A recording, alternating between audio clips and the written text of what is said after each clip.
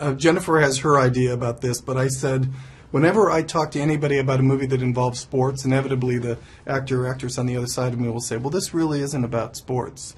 So in this case, there are guys who follow the draft religiously, and they are they've got their folders open. And then there are people who don't watch football. Do you think it matters one way or the other? If Not where this movie? movie's concerned. I mean, anybody at the end of the day is going to say, "Oh, I wish there was more of this.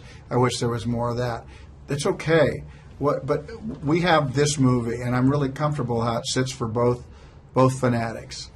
Tell me what you think about this, which I think is very cool. In this film, you have some people who pop in, some decent names in the showbiz world for one scene or two scenes. I think they must have either A, wanted to work with Kevin Costner, or B, saw the script and said, I love this moment, and Yeah. I'll take it. Which was it? Well, I think they've had to have liked the script. They're not fools because one reason why they've been able to do the things they've done was because they can they can um, differentiate between wanting to hang out and also wanting to get some work done.